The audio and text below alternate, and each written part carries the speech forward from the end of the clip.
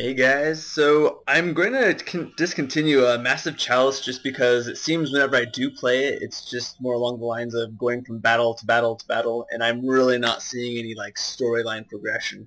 If this is something that you do want to see more of, then definitely leave a comment, and it's something I will get back to.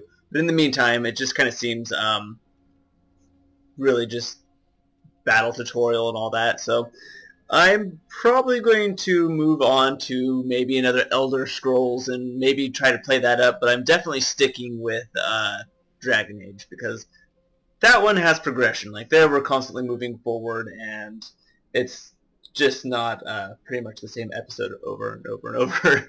so um, yeah, if it's something that you do want to see more of, I will gladly get back to it. But in the meantime, it just kind of seems uh, very repetitive.